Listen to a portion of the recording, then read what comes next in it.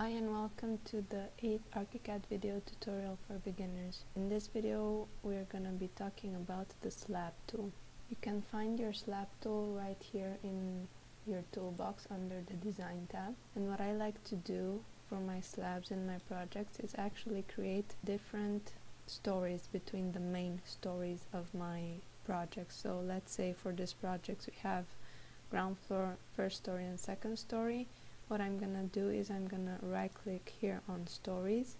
I'm gonna click on story settings and underneath each story I'm gonna insert another story. So I usually like to have these written out in caps lock ground floor and underneath I'm gonna have below ground floor and over here you can set the elevation for each story and height to the next story. So these stories that I have between the main stories are not going to be as high as the rest of the main stories. So for this I'm going to have it be let's say half a meter, so 0.5 meters.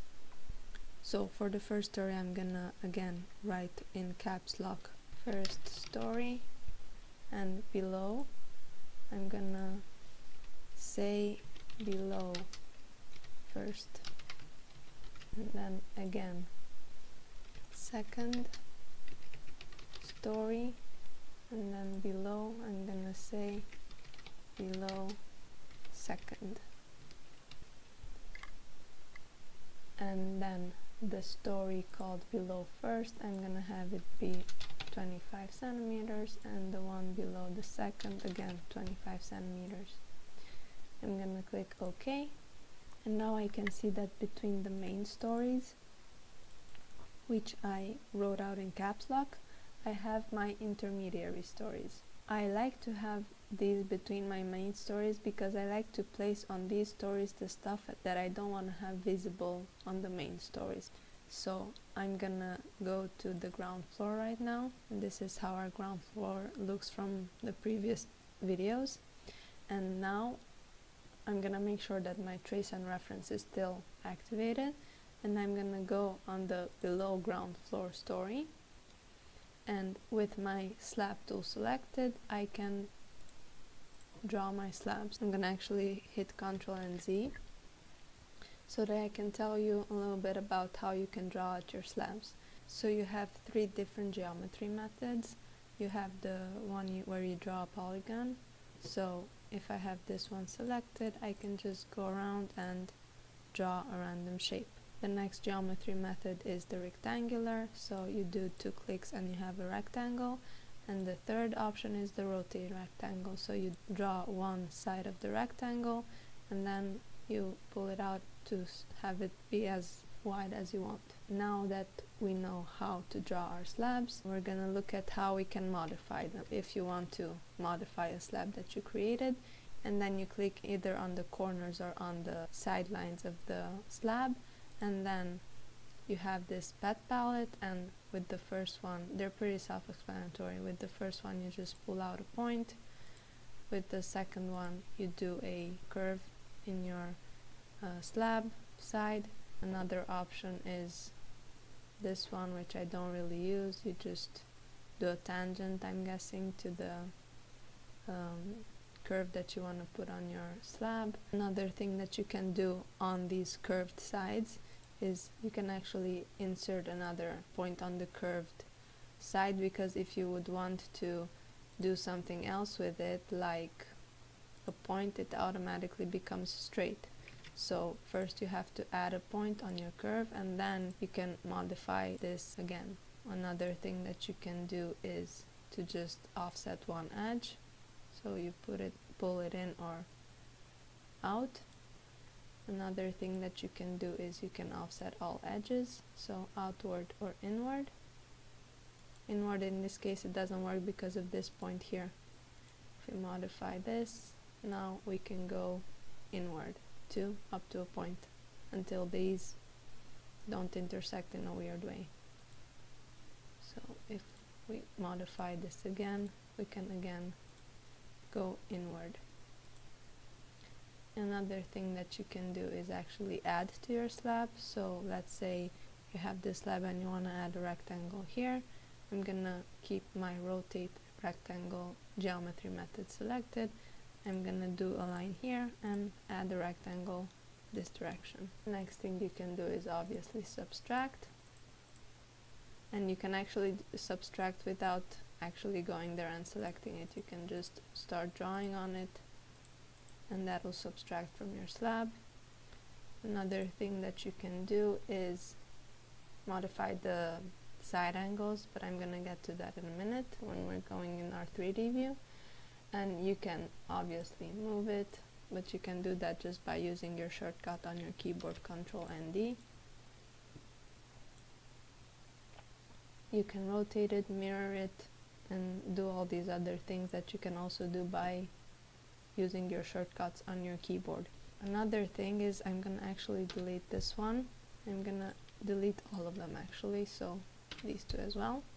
And I'm gonna select this first geometry method, which is to draw a polygon.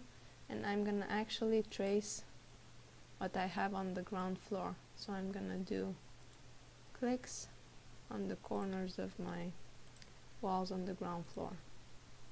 And now if I draw a marquee and hit F5 I can see that in my 3D view I have the slab that we just created.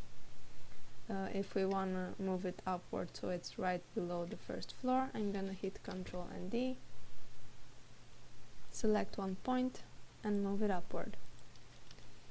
I'm actually just gonna select the slab and hit F5 again so it's the only thing visible on the screen and as you can see it has two different core elements and that is because we have the structure type selected to be composite so if I select my slab and change the structure type to your basic structure type it's pretty self-explanatory. What happens it's just a basic slab. It doesn't have different core elements.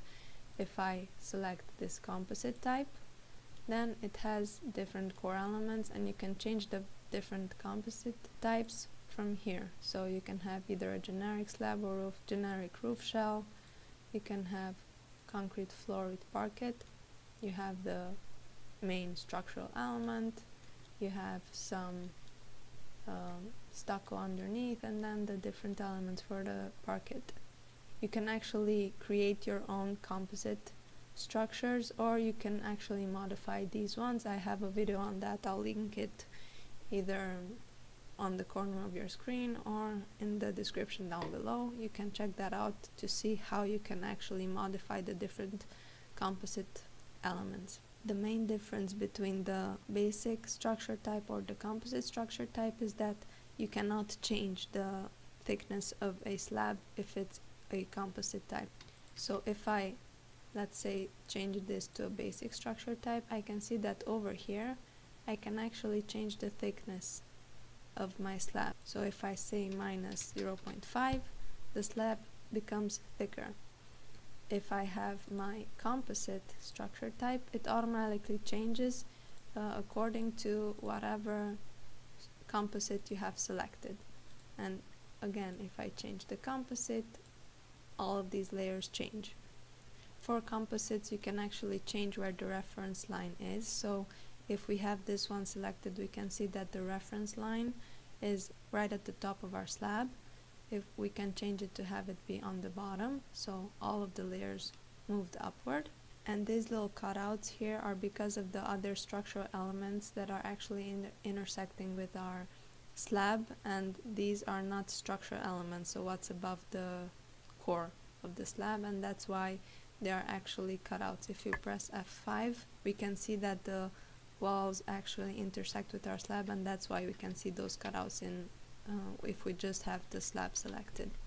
So again, I selected the slab and pressed F5 and I showed you already how you can change the reference line right here.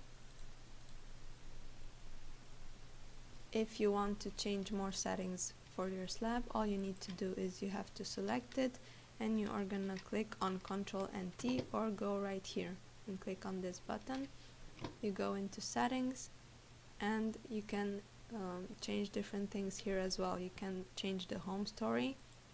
Let's say you want to have it below the first floor. You can change it here, but I'm gonna leave it to below ground floor. You can actually modify here where you want the slab to be visible. So let's say you have it, you want to have it visible on your home story, so below ground floor, and also on the uh, one story above it. I'm gonna change this. I'm gonna click OK and now if I go in my ground floor I can actually see the slab and select it. Well, I can't really see it because it's right below the walls but now you can see this is the slab that's visible also on the ground floor. Again I'm gonna select my slab and go to settings and this is um, where you can actually change a few more things. You can actually change the pen for the outlines. Right here you just select a different one hit OK and the outlines are changed. It is now red instead of the blue that was before. I'm gonna remove the marquee. I'm gonna go here under document and select my section tool and I'm just gonna do a point here one point here and face this direction. I'm gonna select my section and I'm gonna right click open with current view settings and now we can see the slab in our section. This is how our slab looks like in a section right now. I'm gonna right click and uh, make sure we can see the true line weight of our elements and I'm gonna select my slab.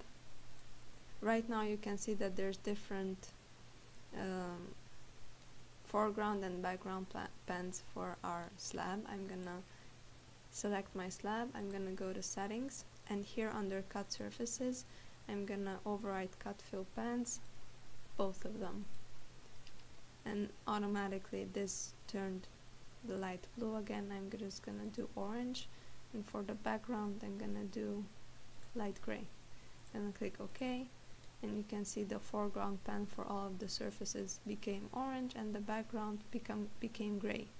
In order to change the outline for each um, composite layer you're gonna go to let, let me first see what type of composite this is. It is the flat roof. Which is not what this is but nevertheless I'm gonna go to options element attributes composites. I'm gonna select the flat roof composite and here is where you can change the outlines of each layer. I'm gonna do yellow for all of the non-structural elements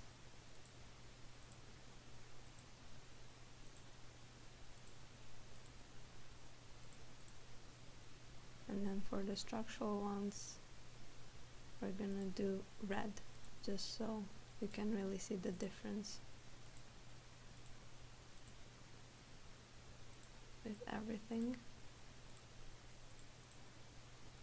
I'm gonna click OK and you can see with yellow the non-structural ones but unfortunately the red pen that I selected is very thin. I think it has a zero thickness so that's why it's not very visible. But I think you guys get the point. You can change the pens and the appearance of your um, slab in section either by go by selecting it and going to settings and changing the different elements here and by going to options element attributes composites. I'm gonna go to my below ground floor plan. I'm gonna select my slab and I'm gonna press F5 I'm actually gonna select it and then move it a little bit downwards so it's not intersected with the walls on the ground floor.